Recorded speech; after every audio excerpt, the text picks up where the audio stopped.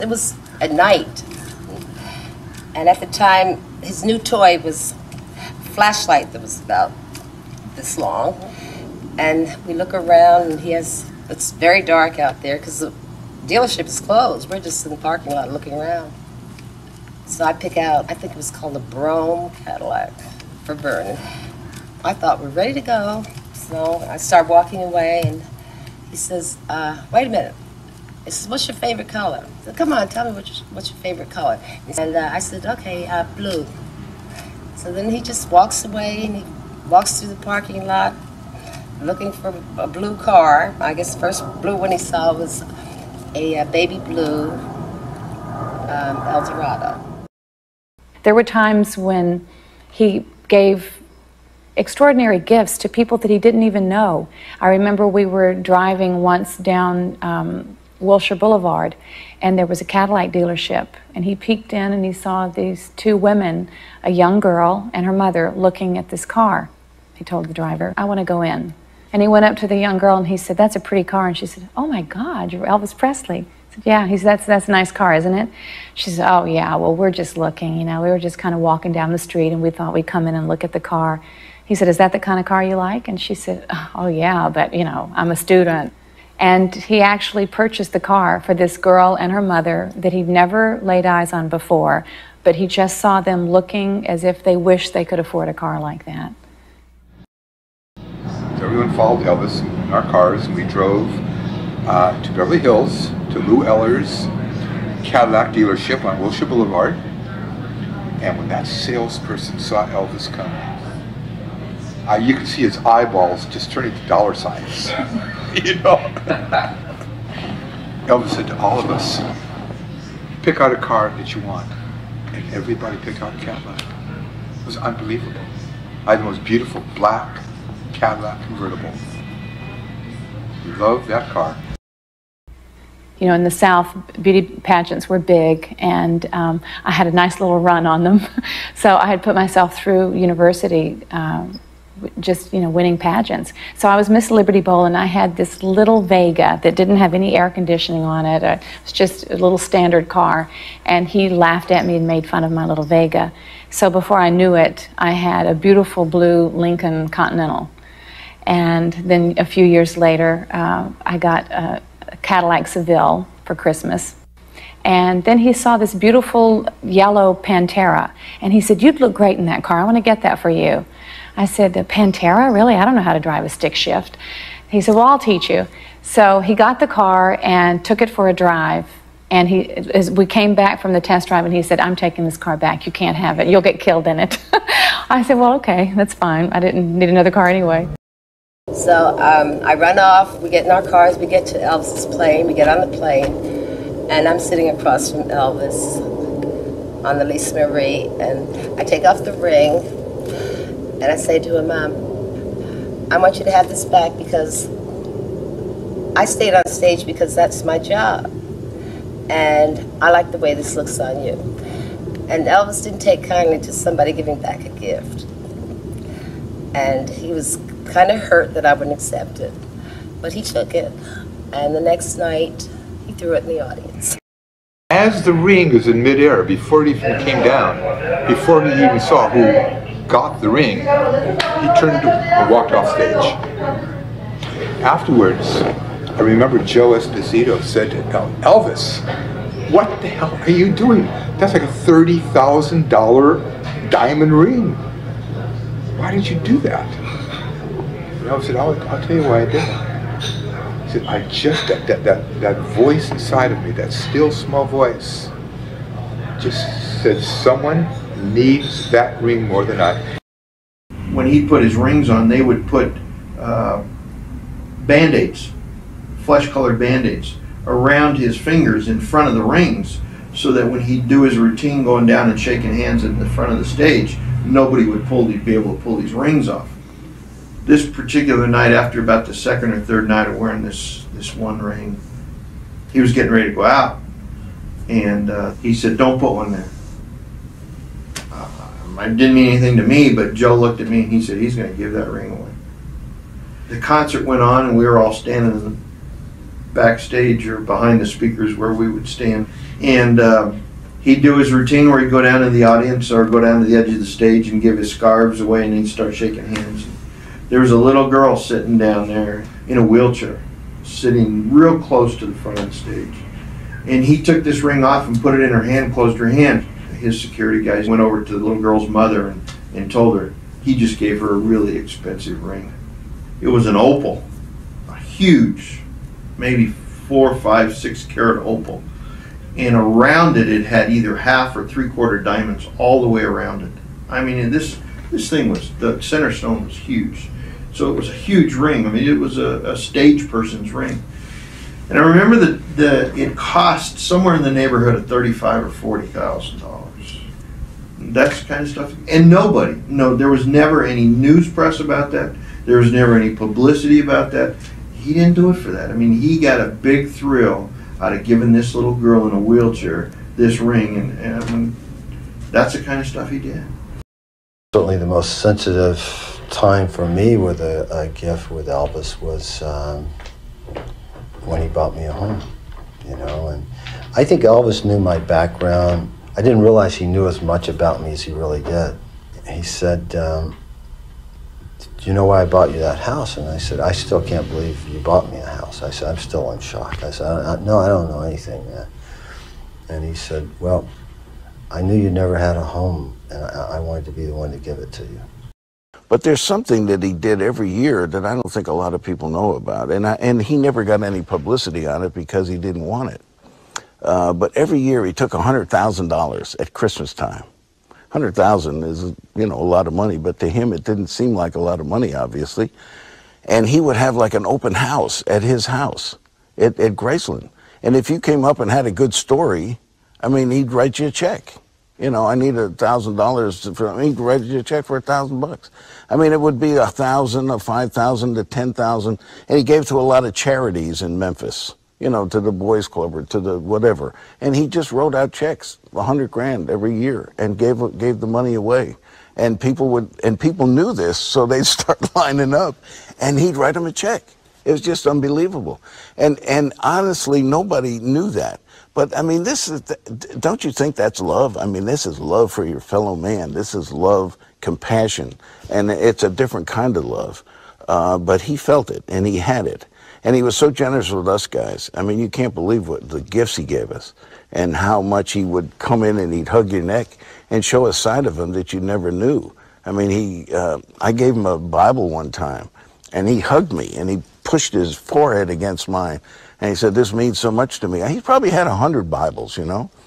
I think that's that is a part of the love and this love story that with Elvis that I think is so important.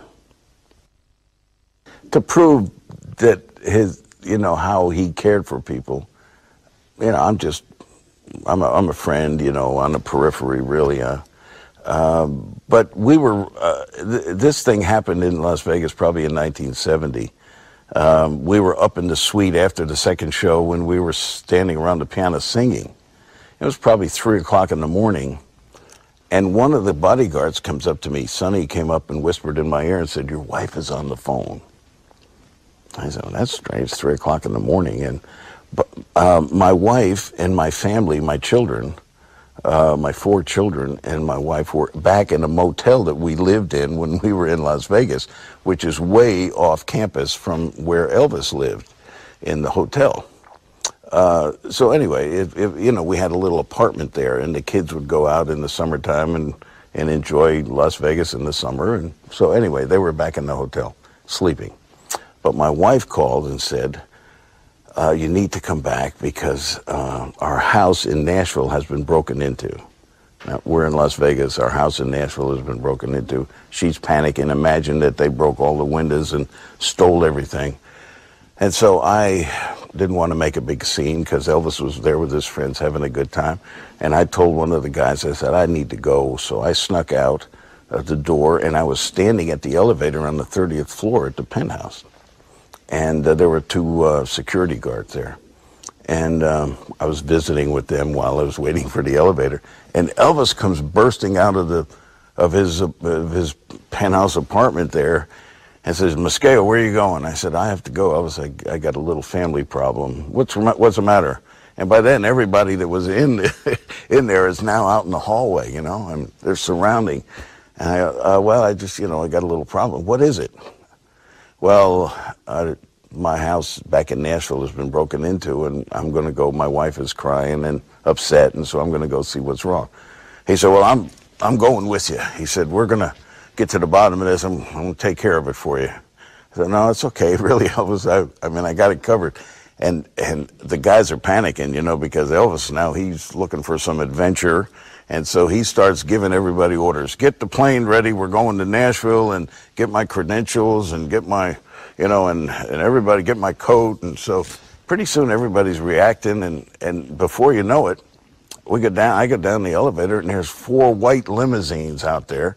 And Elvis and all his entourage go in these limousines. I'm driving my little car that I had rented, you know, and I'm leading them and to this little motel.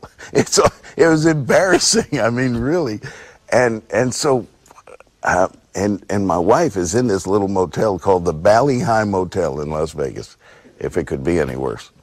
Uh, and my kids are in another room sleeping. I thought they were sleeping. So so we get we go down the alley behind the motel, and uh, I showed them the way to go through like this little uh, passageway, and we come around to our place, and I knock on the door. My wife answers she's got her hair in rollers, you know, she's got her bathrobe on, and she can't believe that all these people are here. I mean, there's an entourage. There's like 20 people. Um, and so we all pile into this little motel room, living room, you know, cheap furniture. And um, I, I go, what, she, she can't believe she's crying and very upset. Elvis hugs her. And he says, darling, don't worry, I'm here to take care of things. I mean, that's love. That's compassion. And he settles her down, and then he's telling Felton, who lived about a mile from me out there in the country in Franklin, Tennessee, he, called, he said, call the sheriff out there and find out what, what happened, give, give us a report. So, so Felton, this, this was way before cell phones, so, you know, he's on the phone, a landline, and he's trying to get the sheriff to find out what happened, give him a report. Meanwhile, the kids hear all this this ruckus in this room, and they open the door slightly, and they're like stacked up, looking out the door from the bedroom at Elvis, and he sees them. He goes in there with them, and I wish you could have seen him that night. It was unbelievable. He had on this leather coat with fur, with fur sleeve, fur cuffs, and a fur collar, and of course his sunglasses and his big belt and a flashlight about three feet long. He had all this, you know, stuff, but he it was Elvis, you know. And the kids saw him, they just couldn't believe it. Well, he saw them and went into their bedroom and sat on the bed with these kids. And uh, he started talking to him. And he said, look, I know you, you know, we're here because your house in Tennessee has been broken into. And he said, I just want to tell you, if they took your bicycles or any of your toys or anything that you loved and you, you know, that was really your favorite, you let me know. Write me a note. Let me know. And he said, I'll replace it better than what you had. I promise you that. And okay. And he said, okay. And yeah, they said, okay. And he patted them or whatever. And they, you know, he, he just left them in the bedroom. They, they still talk about it. Now, you know, the kids are in their 40s and 50s and they're still talking about Elvis coming into their bedroom that night. To me, that's love. I mean, that's, that's the real, that's the real deal. And that's what uh, love songs are about. It's about touching people, touching hearts, and making an impression, a lasting, lifelong impression on people. That's a love song. I've never gotten over what they call stage fright. I go through it every every show. I'm pretty concerned. I'm I'm pretty much thinking about the show. I never get completely comfortable with it, and I don't let the people with me get comfortable with it. And that I remind them that it's a new crowd out there. It's a new audience, and they haven't seen us before. So it's got to be like the first time we go on. I hope I can give them a good show. That's the most important thing. You will. You, no question you about will. that. Sure will. If I can give them a good show, then I feel like I've done something. You What's will. the biggest live crowd you've ever performed for? Uh, if I'm not mistaken, it was uh, in Vancouver, Canada, Winnie Colonel. Cotton Bowl. In the Cotton Bowl in Dallas. Uh, it was about uh, Oh, 25,000, I guess, something like that. There seems to be a kind of like a relationship going on on stage. It's like everybody is a friend of everybody else on stage, and that's like that's something very rare because we've seen a lot of groups perform and don't get that kind of feeling. Well, I think it's because we enjoy it, you know, and we constantly enjoy it, which means that we, you know, we do two shows a night for, for five weeks, but we never let it get old. Every song is like we do it for the first time, and that's that's one of the secrets, you know. Well, like it's not a planned thing. You don't do the songs, the same songs, the same sequence. Not necessarily. Yeah, it's we, like- we can change them around, but even if we do the same songs, It's not the. it's they're new and the sound is is you know the the, the feeling is there every every time. It's a different feeling each time, right? It's, uh, It's a good feeling. It's a you know, good we, you know, we never let it down because there's a new audience out there. Plus, we enjoy what we're doing. Well, Elvis communicates with us, really. I mean, you really do from the stage. I, I've sung with lot of people, but uh, he has some way of, of keeping you interested and communicating, you know, between you and him. And, I'm not going to tell you how. You aren't going to tell us the secrets? well, hell, we'll get out. Things are going behind my back and things. No. Uh, but we will. Uh, uh, we'll keep it interested or interesting somehow. You know. Five weeks, man. Oh, shut up. Last show was the first one. Yeah. At the end of the sh- at the end of the of, of the five weeks, it was you know it went by like that, and uh, it it seemed like a day. Tell him what you said. Tell me. Why? Okay, step back. The song that you like. Well, could you sing me a special song, please? I sure will. Don't Cry Daddy or Love Me Tender or whichever Okay. one you want. Alrighty. or whichever one you Whichever one want, Danny, okay? look over here, honey. No, look at it. Look at Elvis. Okay. Okay, smile. I'm not gonna tell you which one I'm gonna do, okay? I'm just The surprised. special one. What's your favorite song? Surprise, There you go. Oh. Okay. How about that? Oh. Thank you so much. so much. Bye bye, you. Bye. Thank you.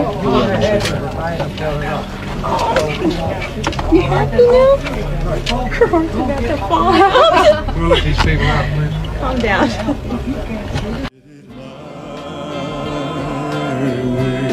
Oh, what is a man? What has he got? If not himself, then he has not to say the word.